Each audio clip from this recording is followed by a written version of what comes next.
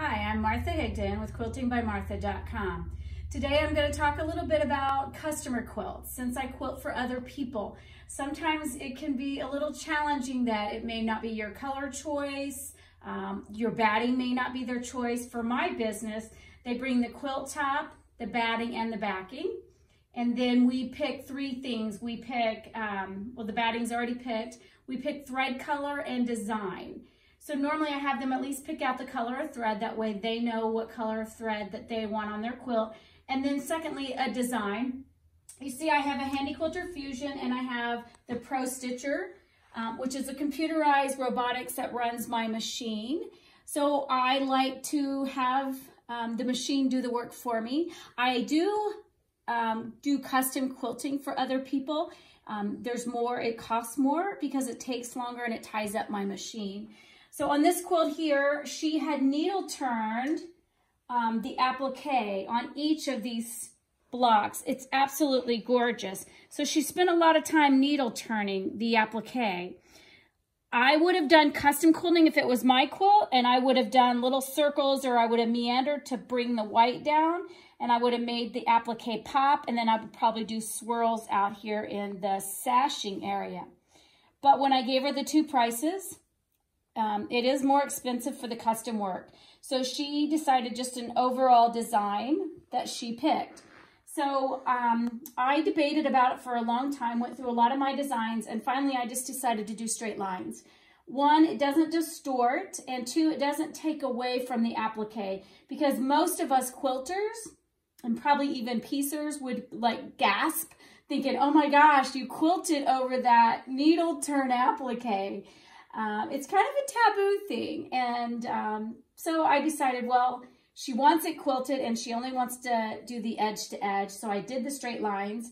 Um, the thing about it is when you quilt for other people, even though they say it may not go into a show, but it could be a small quilt show and all of a sudden there's your quilt that you quilted with your name on it, quilted by Martha Higdon. So you have to be, when you quilt for other people as a business, you have to be happy with way the finished quilt turns out. So on this quilt here, because she had white um, in her blocks, she needed a white batting. Um, she could have got warm and white, um, but it looks like she got um, polyester. So we have a white batting so that the um, white appears white. She chose this uh, wild looking color for the backing fabric. She felt it pulled out a lot of the colors from the applique. Another thing she told me that she was going to do is she's not going to do your traditional binding. She actually is going to turn the back to the front of the quilt.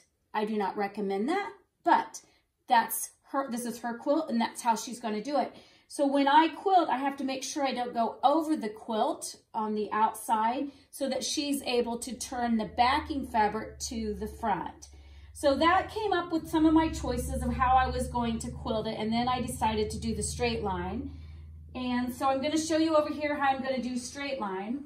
You notice I have a Handy Quilter Fusion. I have on my square foot, I'm sorry, I have on my glide foot, I took the square foot off when I was doing binding on the last quilt.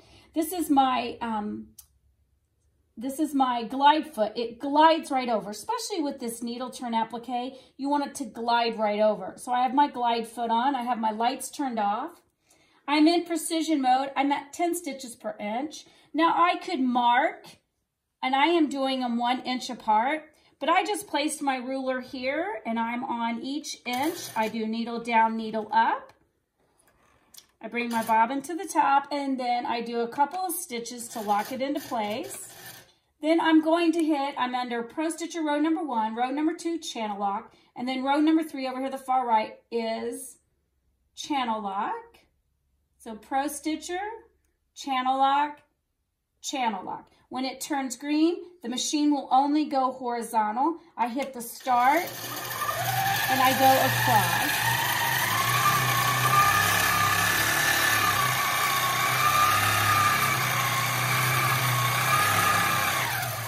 You notice that it only takes a fingertip. I'm just barely moving the computer, the machine and computer because it will only go horizontal. It's not gonna go vertical.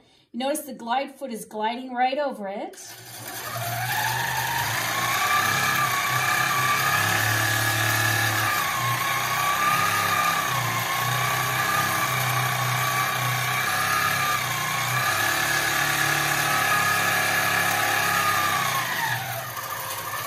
Get to the end of the quilt and I stay right on the edge because she's flipping her back to the front. I don't want to go off in it.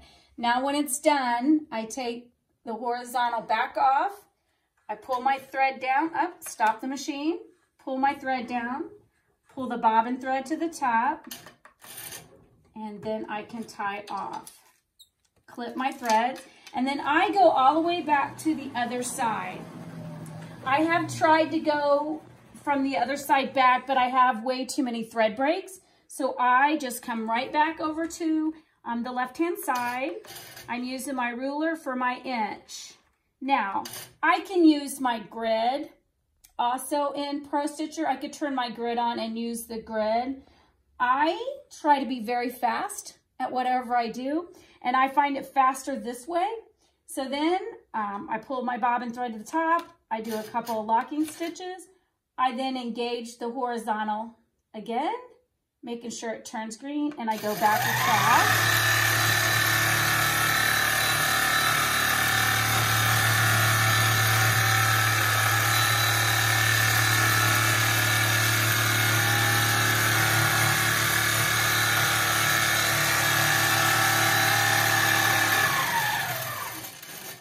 to the end. A few locking stitches, take the horizontal back off and pull off my thread. Notice that my machine is making a beeping noise because I am going faster than the regulator. It's okay, my stitches are still gonna be regulated. Go back, I do one inch apart, and I'm gonna continue until I finish out this quilt, turning horizontal on.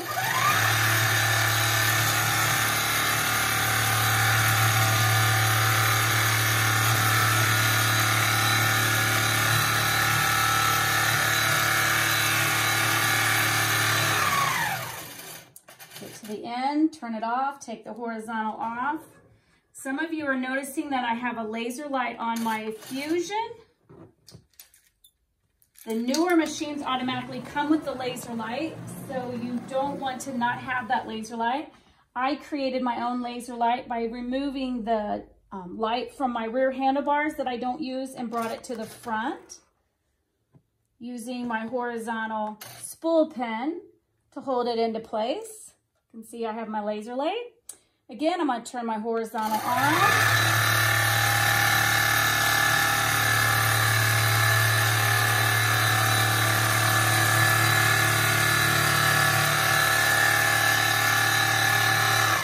Go to the end, a few locking stitches, turn the horizontal back off.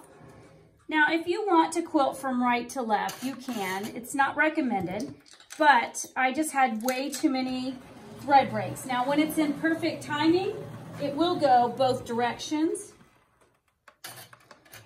But I just find it easier to start from this one direction and go all the way across. This will be my last one across. I hit the horizontal.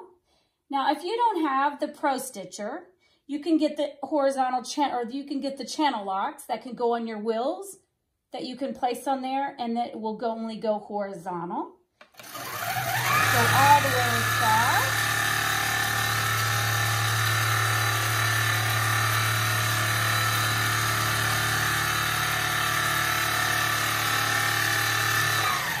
To the end. Turn the horizontal off.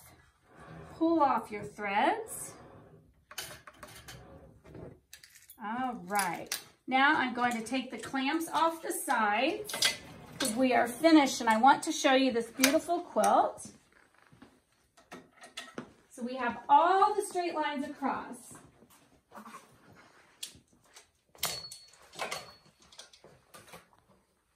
And then I'm going to take my red snappers off so that we can see what those straight lines did for this beautiful quilt. Now, you notice I did straight lines horizontal. Now, I could take the quilt off and turn it and then do the lines again so it's more of a checkered.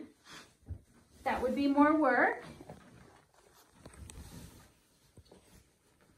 Just look how pretty it is. It doesn't distort. It doesn't take away from any of the needle turn applique. You still see the beautiful handwork, but yet The straight lines just give it a more delicate look, clean look, and it's such an easy way. So if you come across a quilt and you just have no idea how you want to quilt it, straight lines is always an option. It's fast, it's clean, and it doesn't distort or take away from any of the piecing.